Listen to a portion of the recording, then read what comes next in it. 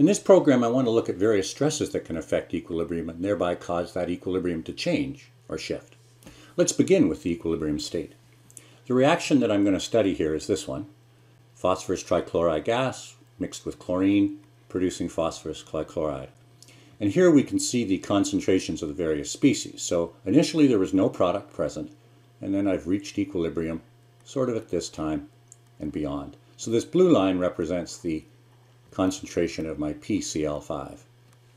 The red lines represent my two reactants. So let's say the solid line is the PCl3 and the dotted line underneath the hydrogen.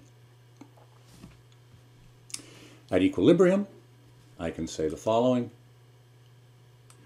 From the last program, we've reached equilibrium, so this ratio equals a particular constant. Now, let's look at introducing a stress. So what we're going to do is, at this point here, we're going to introduce something into our system. So let's take a look at our first stress. What's the effect of concentration? In my particular example, I'm going to say, let's say we all of a sudden inject or add some PCl5. So our stress is we make the concentration of PCl5 go up. According to Le Chatelier's principle, the reaction will then want to minimize that stress, which means the reaction would shift to such a way that it could use up that excess, that it will take that and somehow make that concentration go back down. So it wants to achieve this, to take it from here and reduce the stress somewhat. Now, it's not going to take it all the way back to the initial state, but it's trying to reduce the effect. Now, in order to use up this chemical, the reaction must proceed in this direction, which would therefore produce more of my reactants. So I would expect both of these to adjust by going up some.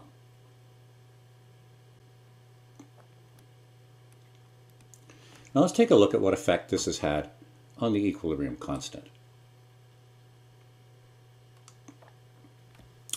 If I take a look at what's happened to the amount of PCl5, I started here and I finished here. So the amount of PCl5 has gone up. What about my two reactants? Well, again, they started here and they finished up here. So they also have gone up. So the overall effect on my constant, both top and the bottom, have increased is it doesn't change. K is not affected by changes in concentration. Yes, I did shift the reaction, however the ratio of product to reactant at the end of the reaction will remain essentially the same. Let's introduce a temperature stress. The first thing to understand about temperature stress is it depends very much on the type of reaction that you have. So in this case, with the positive sign I can remember from energy unit, this is an endothermic reaction. In an endothermic reaction, heat becomes a requirement. So I can think that over here I've got some sort of heat plus PCl3. So let's look at the stress. Say we, we add heat. Another way to view this would be, say we make the temperature go up. So the reaction sh would shift in such a way to minimize this, so instead of adding heat, it would try to use the heat.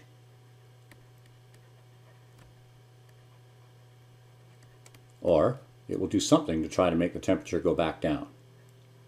If it uses heat, the reaction would shift in this direction. The forward direction would essentially use up and remove heat from the system, much the way it would remove the other chemicals. So, shifting the reaction forward therefore results in an increase in my product.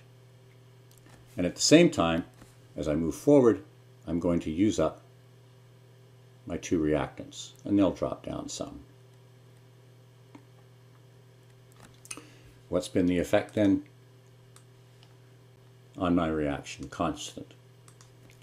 Well, I can see if I compare my starting and my final the PCl5 has gone up.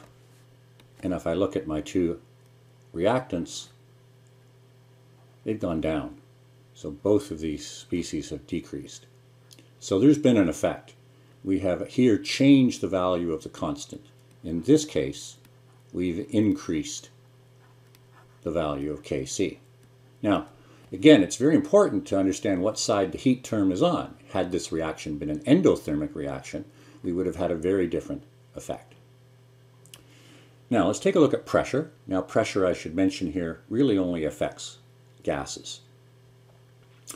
Let's take a look at what happens when we increase the pressure on a gas. So let's say we have a, a container. And in that container, we'll have some product, a reactant I should say, and we'll have some product in there as well.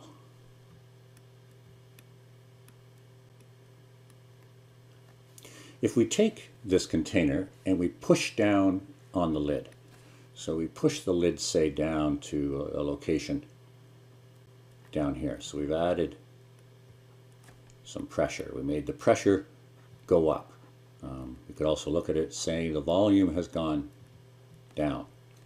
These particles that were up in this region are now going to have to move down here due to the change. So what we've really done is we've increase the concentration of all of the species, they're all essentially closer together. So our stress there, our pressure has gone up.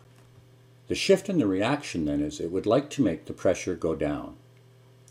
The pressure goes going down would be accomplished by moving to the side with fewer gas molecules.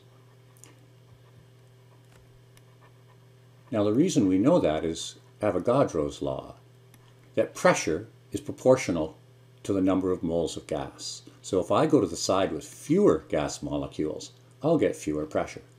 So here I can see on this side there's two gas molecules, here one. So this particular stress, increasing the pressure or reducing the volume, will drive the reaction in the forward direction. Now let's take a look carefully at what happens to our concentrations. When we apply the stress, we squeeze all of the particles closer together. So all of the substances will experience a spike or an increase in their concentrations. Now the reaction will shift forward to adjust to the stress. And we've mentioned going forward is going to make more of my product. So from here, we're going to get even more product and we're going to use up some of our reactant.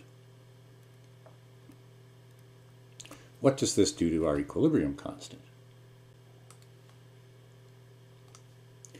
Well, let's look at it again, comparing before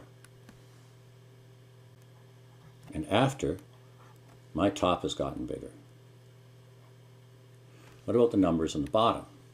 Well, remember I started here but the introduction of the pressure stress caused a big increase in them both. Now I haven't completely minimized that, so I still have on the bottom numbers that were larger than my original situation back here. So as a result, top and bottom effects cancel again, and I have no effect on Kc. But I have shifted the reaction forward, but no effect on the equilibrium constant or ratio. My final situation is what happens when we introduce a stress of adding a catalyst.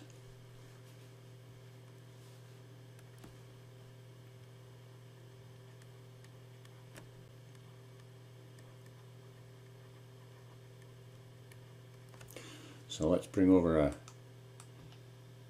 energy diagram to perhaps best understand how this works. We can recall that a catalyst affects the activation energy. So let's look at the forward direction. There's the equilibrium, I should say the activation energy for my forward reaction. And to go in reverse, a larger activation energy is required, this height right here. So that's the EA for my going in the reverse direction. We remember that the introduction of a catalyst alters the path, so we reduce the activation energy. But we reduce the activation energy of both. So essentially, instead of being this high, they're now reduced to smaller activation energies. So I've reduced the ease of the forward reaction and the reverse. Essentially what that means is that I've made maybe that arrow bigger, but this one has also become bigger. The effects cancel each other out. So both activation energies are reduced.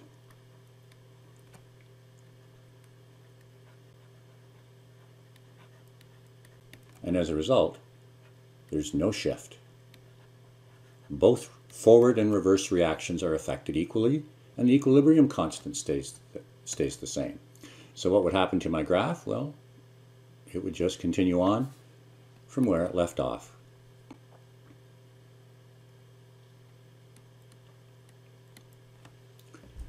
So that brings us to the end of our equilibrium unit. In our next unit, we'll take a look at acids and bases. Thanks for watching.